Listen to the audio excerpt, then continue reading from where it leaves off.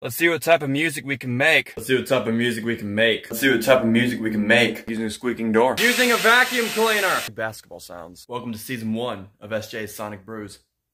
Let's make some sounds. Today I'm going to be making a drum kit using only basketball sounds. We're going to start with the dribble. That's going to be our kick drum. Pitch it down and assign it to this note here. Backboard is going to be our snare. Let's go ahead and load that in. Trim it so we just get the sound of the ball hitting the backboard. Pitch it down, assign it to this note here. Now let's import the rim sound, which is going to be our hi-hat. Crop it. Pitch it up and assign it to this note here.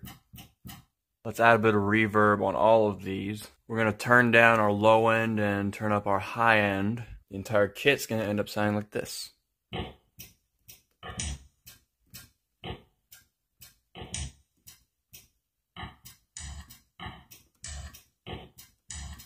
Let's see what type of instrument we can create.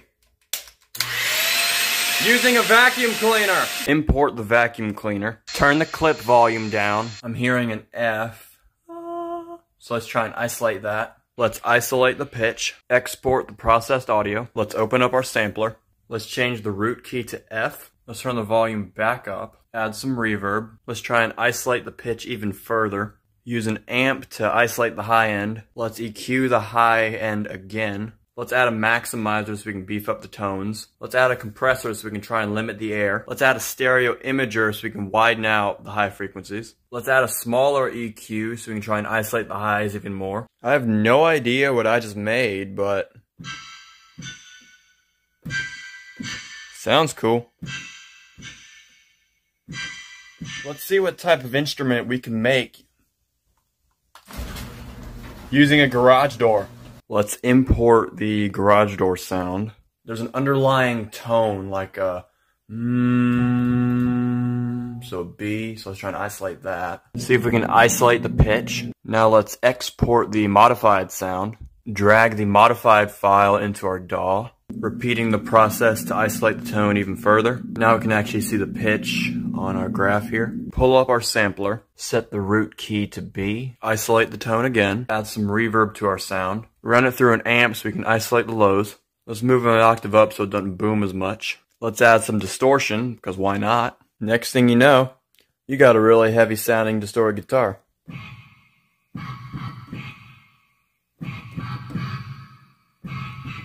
Let's see what type of music we can make.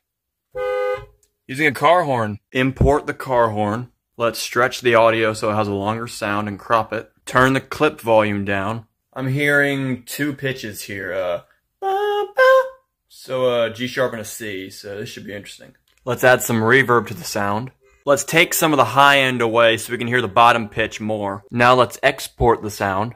Open up our sampler. Set the root key to G sharp. Turn the volume back up. Add some more reverb so we can get a warmer sound. Use a maximizer to turn the volume up a little more. Cut the high end so we can get more of the lower tone. Don't know why, but I feel like being under the sea right now.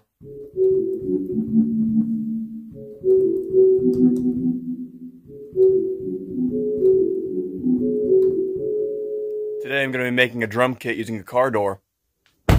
Import the car door, crop it, export the cropped file, pull up our sampler, pitch it down and assign it to this note here.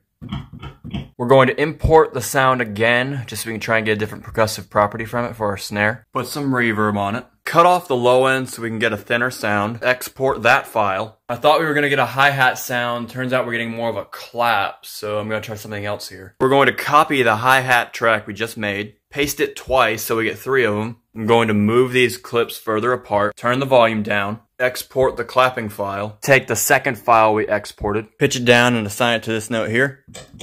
Take the last file we exported, pitch it down and assign it to this note here. Add some low end to give it more boom. Let's add some reverb to give it more space. Now we got a stomp and clap sample that Johnny Cash would have loved.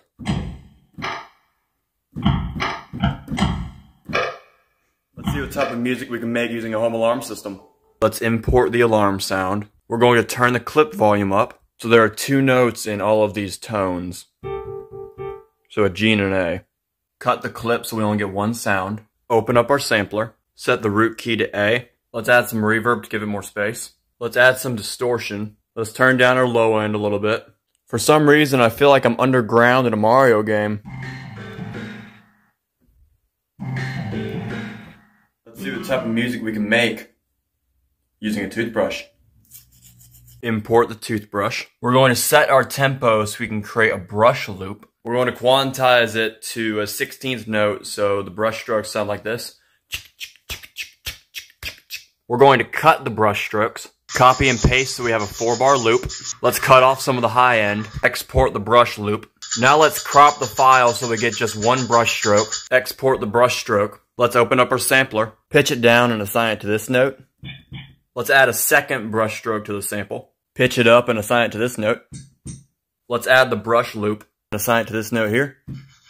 Now we got a brush kit.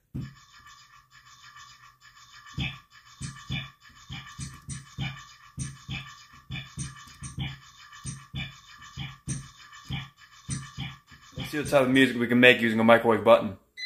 Let's import the microwave button. Let's take off the highs and lows just so we get the tone. Let's export the file. I'm hearing a B. So that's the note we're going to be using. Let's open up our sampler. Let's set the root key to B. Let's turn the volume up. Let's add some reverb. Stevie Wonder would have had a blast with this one. Very superstitious. Let's see what type of music we can make using glass. Let's import the sound of the glass. The interesting thing here is it's between two keys. It's between an F and an E. We're going to try and fix that. Since we can see the pitch on the graph, we can just correct it and adjust it to the nearest note. Like that. So now the tuned glass sounds like this. Let's export the new glass file. I don't even need to say this anymore. You'll know what this step is. Let's set the root key to E. Let's crop it. And now I can play Carol of the Bells.